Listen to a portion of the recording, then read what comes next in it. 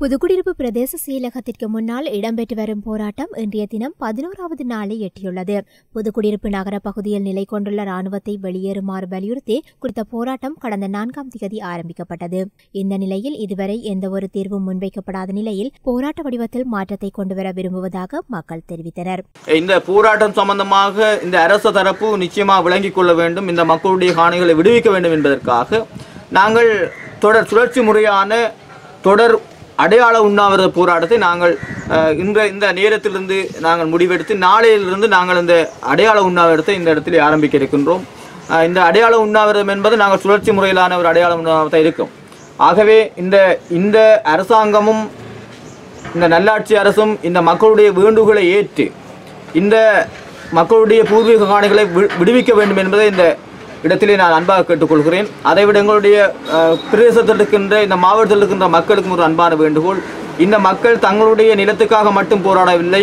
இந்த புதுக்குடிப்பு பிரதேசத்தை பொறுத்தமட்டில் புதுக்குடிப்பு மையப்பகுதியில் இருக்கின்ற இராணுவ முகாமானது பல்வேறுபட்ட தரப்பினருக்கும் ஒரு இடையூறை விளைவிக்கின்ற தொடர்ச்சியாக மக்கள் பிரதேச செயலகத்திற்கு முன்னால் போராட்டத்தில் ஈடுபட்டுள்ள நிலையில் இதுவரை எந்தவொரு தீர்வும் முன்வைக்கப்படவில்லை. எனவே தமது போராட்ட வடிவத்தை மாற்ற மக்கள் தீர்மானித்துள்ளதாக நாடாளுமன்ற உறுப்பினர் சிவபிரகாசம் சிவமோகன் தெரிவித்தார். மீண்டும் தங்களை வாழ விட வேண்டும் என்று கோரி இந்த போராட்டத்தை ஆரம்பித்திருக்கிறார்கள். இது இப்போ நீண்ட நாட்களை கடந்தும் ஒரு சுமூகமான முடிவு அரசாங்க தரப்பிலிருந்தும் கிடைக்கவில்லை.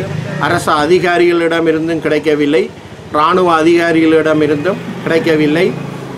இது சம்பந்தமாக பல விடயங்கள் பாராளுமன்றத்திலும் நேரடியாக பிரதம மந்திரியுடன் கதைத்து கூட ஒரு உருப்படியான முடிவுகள் கிடைக்கவில்லை என்பது மிகவும் கவலைக்குரிய விடயம். இன்று இந்த மக்கள் இப்படியான ஒரு நிலையில் சுழற்சி முறையிலான தொடர் உண்ணாவிரத போராட்டத்தை ஈடுபடுவதாக இன்று இந்த புதுக்குடியிருப்பு பிரதேசத்தில் அறிவித்திருக்கிறார்கள். இந்த நிலையில் அனைத்து உறவுகளும் தமது போராட்டத்திற்கு ஆதரவு தெரிவித்து போராட்டத்தை வலுப்படுத்த வேண்டும் எனவும் போராட்டத்தில் ஈடுபட்டுள்ள மக்கள் கோரிக்கை விடுத்தனர். பதினோராவது நாளாக இந்த புதுக்குடியிருப்பு செயலுக்கு முன்பாக தொடர்ந்தும் நாங்கள் இரவு பகலாக ஆர்ப்பாட்டத்தில் ஈடுபட்டு கொண்டிருக்கிறோம். எங்களுக்கு எந்தவித முடிவும் இன்னும் எவரும் பெறவில்லை ஆனால் எங்களோட போராட்ட வடிவம் நாளைக்கு மாறி வேறு வேறு வடிவமாக இருக்கும். இந்த போராட்டத்துக்கு மக்கள் மக்களும் எங்களோட உறவுகளும் பாடசாலை மாணவர்களும் எல்லாரும் எங்களுக்கு ஆதரவு தந்து எங்களோட போராட்டத்தை வலுப்படுத்த வேணும் என்று இருகையும் கூப்பி அவைகளை வரவேற்று எங்களுக்கு ஆதரவு தருமாறு கேட்டுக்கொள்கிறோம். நல்லாட்சி அரசாங்கத்தை நம்பியதால் இன்று தாம் வீதியில் நிற்பதாக தெரிவித்துள்ள மக்கள் தமது போராட்டம் தொடரும் எனவும் அறிவித்துள்ளனர்.